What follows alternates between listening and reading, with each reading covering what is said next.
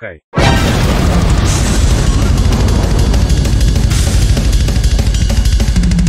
So you're probably here because of one thing. Not only do you want to maybe mod your free version of San Andreas, but you want to be able to play it with a controller. What are you talking about getting mods? Well, mods look a little something like this. Mod configuration. You can't get that with the Rockstar version. So what do you have to do? You gotta have a couple things in order. First and foremost, you gotta download the launcher. Second thing is you gotta download a Steam version of San Andreas, which I'll have a link for in the description.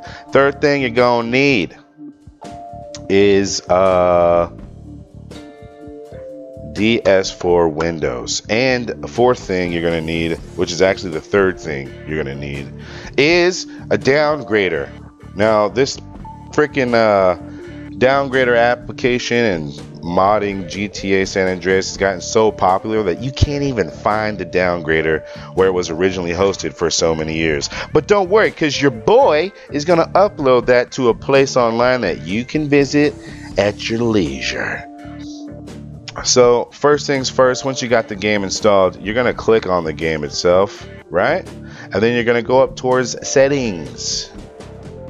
Now, when you're on settings, you go to your installed games click on San Andreas, and these are usually checked. You're just going to uncheck enable automatic updates and enable cloud saves because you don't want Rockstar coming in and, you know, modifying your modified game files. So once you've done all that, the next step is to hop up inside your web browser, okay? And you're literally going to type in uh, nothing because I'm going to provide a link for you.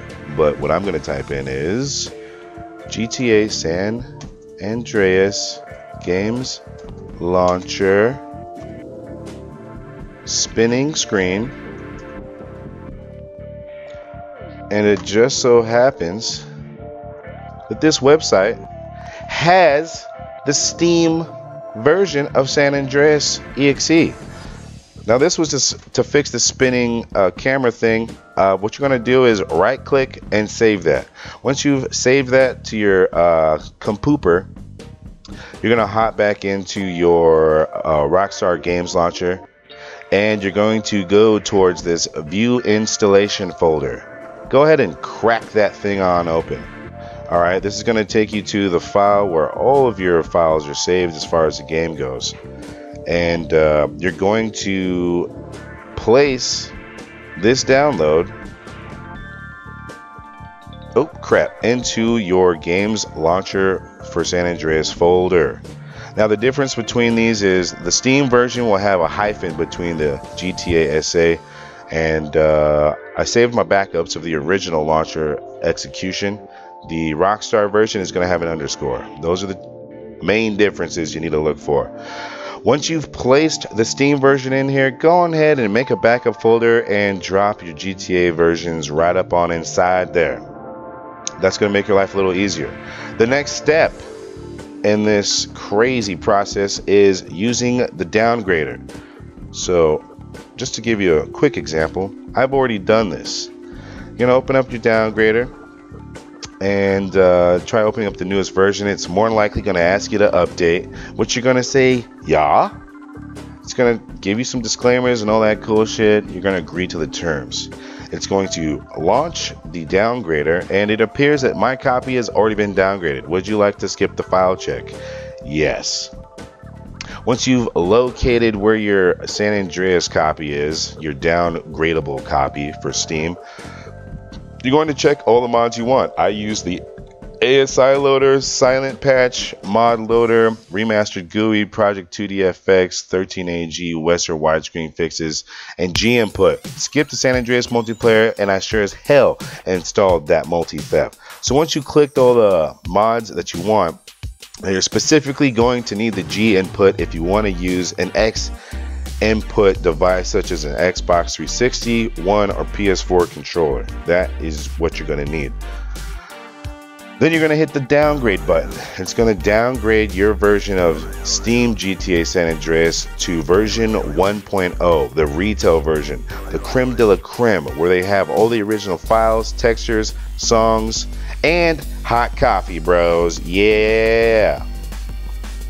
So once you do that, you're all, but, you're all much but pretty damn good to go. You're going to hit that downgrade. It's going to downgrade your file. It's going to let you know that it's done and then you think you're going to be ready to just hop up in the game. But we're here to play the game with a freaking controller. So what you're going to do is download a sweet application called DS4W, which stands for DualShock 4 Windows. I've already gone ahead and done that, obvi.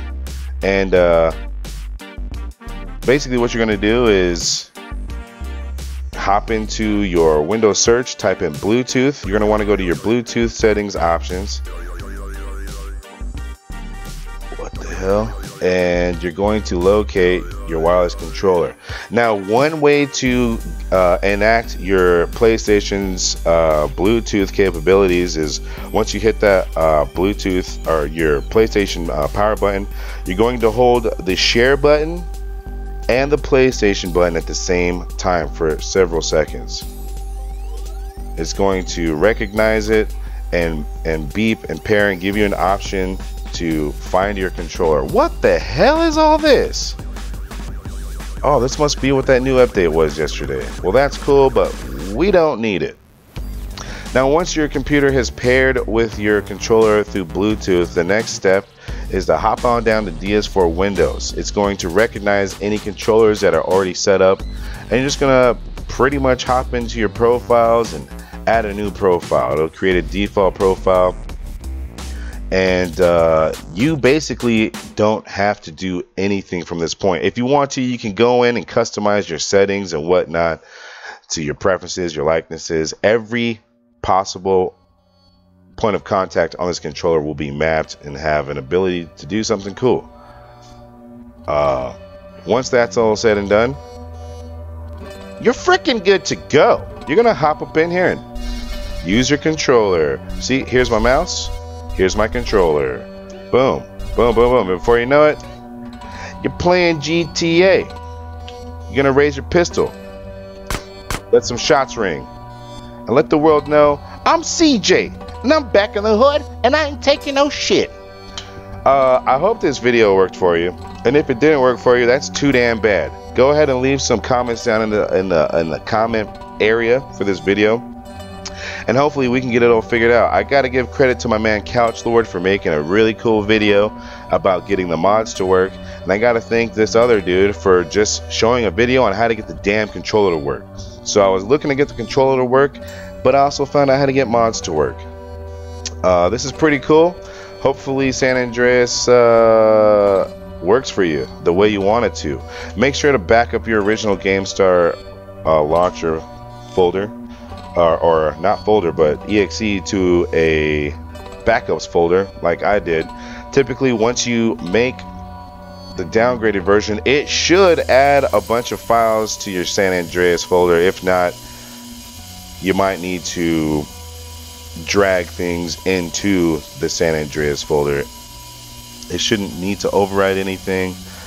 Uh, remember the difference between the executables is a hyphen for the Steam version versus a underscore for the Rockstar Games Launcher version. Guys, I'm your boy Very High, and I hope to see you in the next video. If you like this, go ahead, comment, subscribe. I try to make videos when I can, and hopefully this is helpful. Until the next time, my friends, bye. Hello and thank you for watching. You may now assume the position of leisure.